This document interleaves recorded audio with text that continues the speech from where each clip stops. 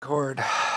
I believe the Concorde, uh, all the people on the Concorde, the problem with the Concorde, it would have been a pretty good service and it would have actually made a lot of money and stuff. Well, it really didn't. I mean, it was a good, it was a good ship and stuff like that. But the problem with the Concorde is, well, for one thing, there was some, um, some low grade quality screws or low grade quality stuff used inside the construction of it that would rust and cause a problem, which I didn't like. It like like like well, I think well I might I've been I might have been the one who actually said to use hardened bolts or whatever. Or I don't know.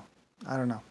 Uh, th- th- there were some issues with that, but they should have been like bolts that wouldn't rust or something like that. There was some low grade steel used with the um, with the with, with some of the screws that rusted, and they shouldn't have been like that.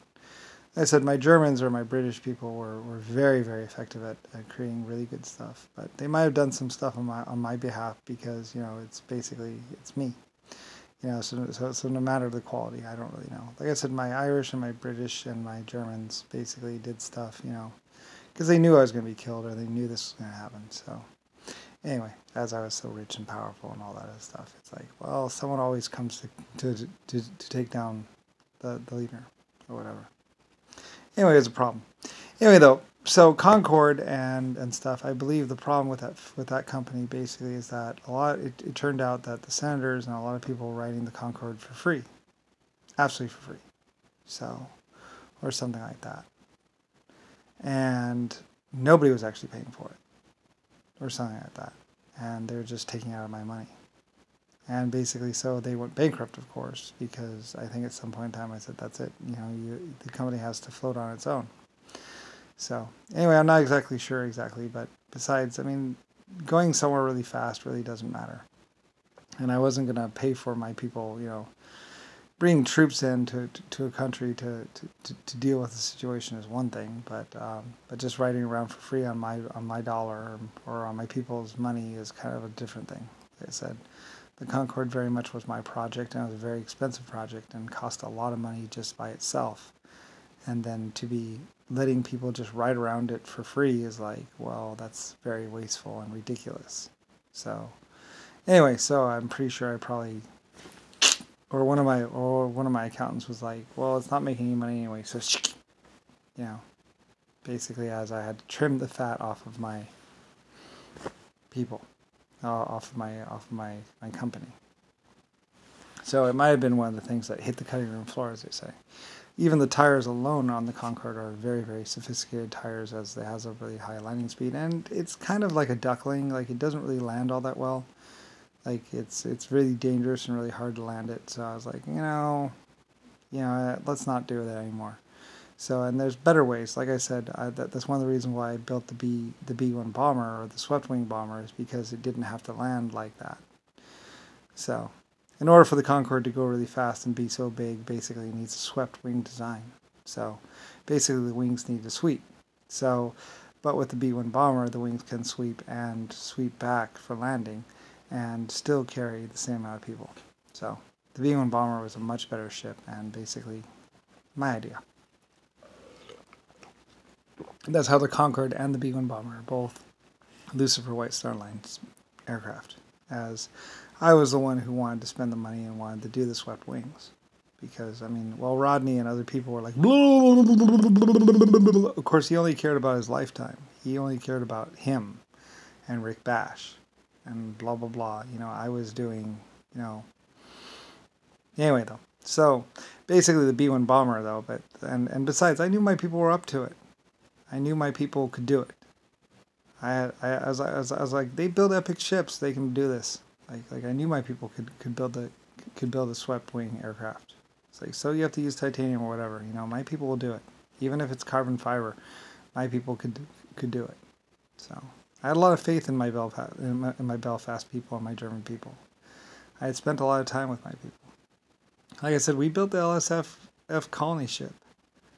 I mean, of course, we can build a, a swept wing aircraft. So, so anyway.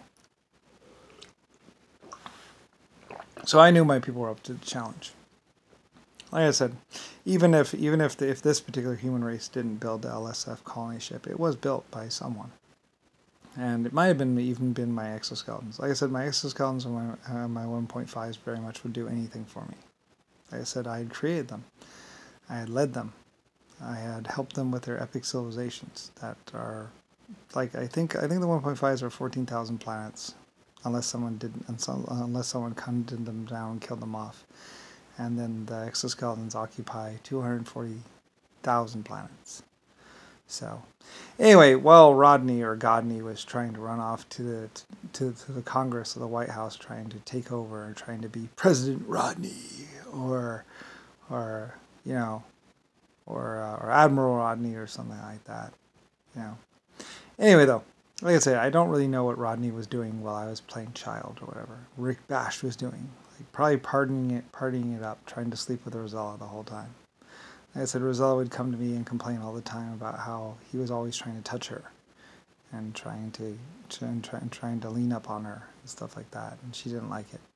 So, and I very much told Rodney quite a few times that that's not your place to be doing that. You know, she's not here as your little plaything. So, anyway, and basically put Rodney in his place as far as you know proper etiquette for treating how to treat a daughter or a secretary, my secretary. Like I said, technically Rosella is my secretary, so um, back off. You know, so uh, even though she's my technical sister, like she really, realistically, she's my secretary or was my secretary.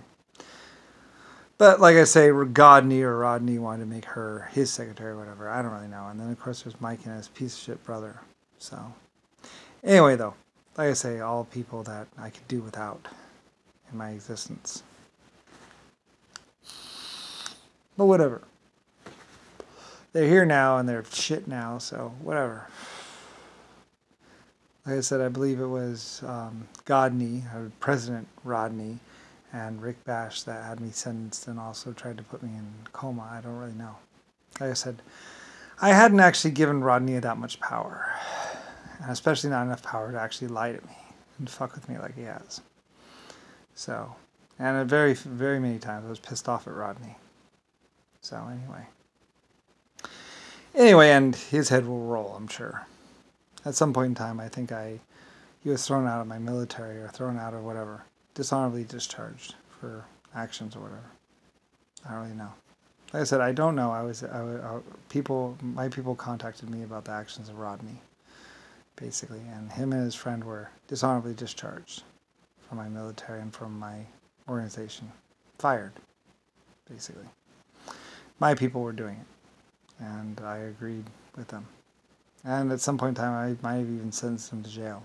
I don't know, the charges against Rodney were, were quite severe. Same thing with Rick Bush. Actions on becoming an officer or whatever. And like I say, I don't really know. I don't really care. America is just one country and just one place, and Earth is just one planet. So, like I said, because of their actions, I would end up like being.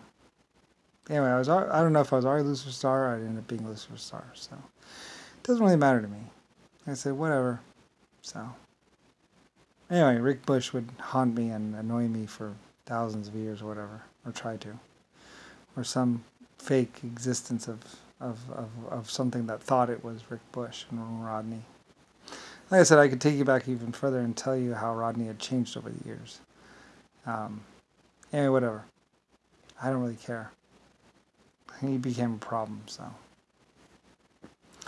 Yeah, whatever, you know, thousands, millions of years, and basically me as a computer, me as a artificial intelligence, basically a ruler of planets and galaxies and whatever. It's like, eh, I don't really care.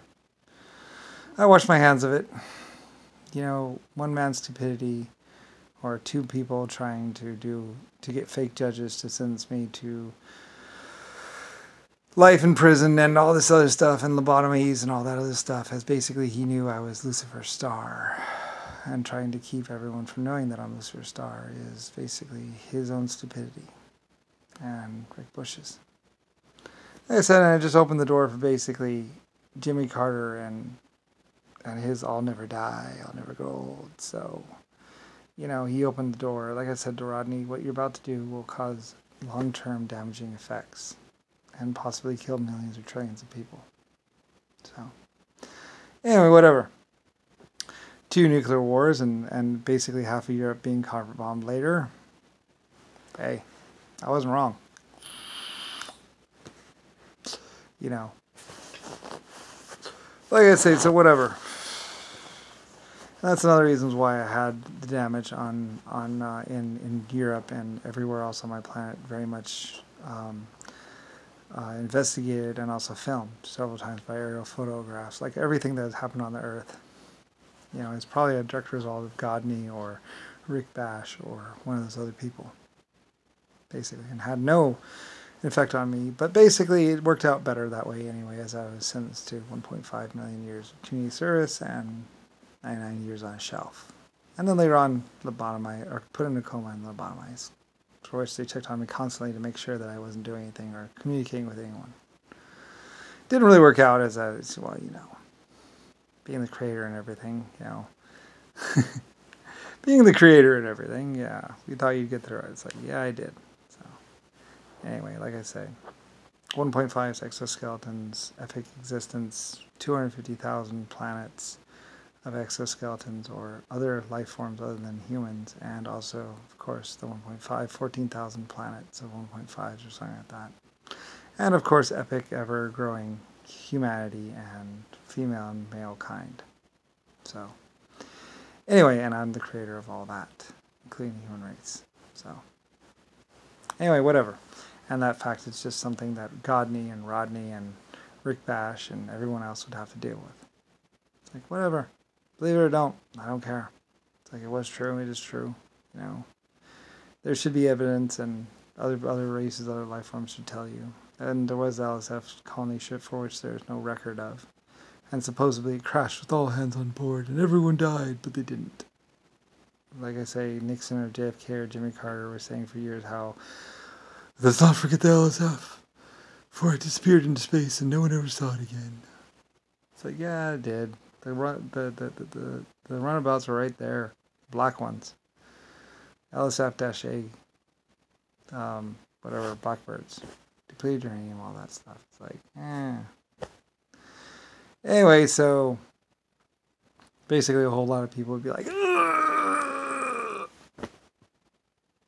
meanwhile,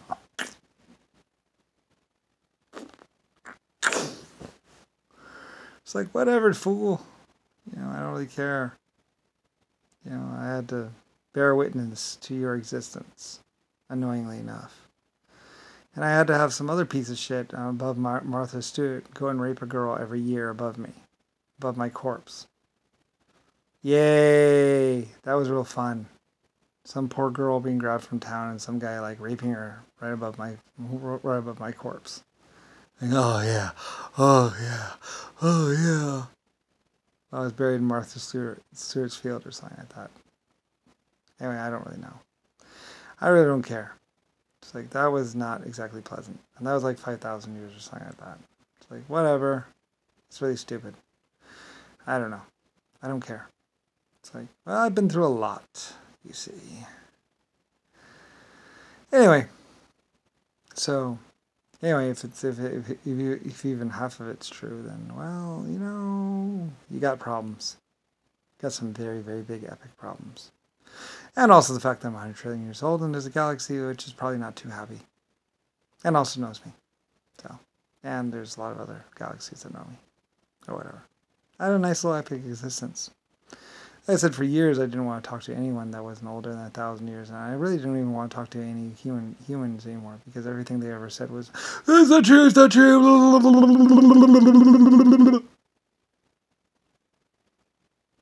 Like, okay, just never mind. I was happy and fine with my exoskeletons and 1.5s. You do whatever you wanted.